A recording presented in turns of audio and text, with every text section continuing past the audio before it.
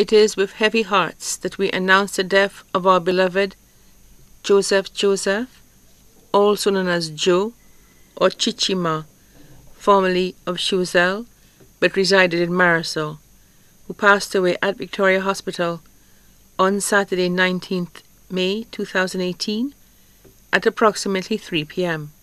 He was 66 years old.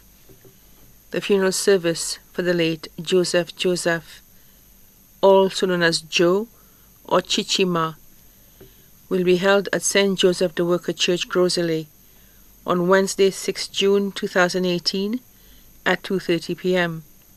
The body will then be laid to rest at the Gros Islet Cemetery. The body now lies at Lazarus Funeral Home, Vide Bouteille Castries. May he rest in peace.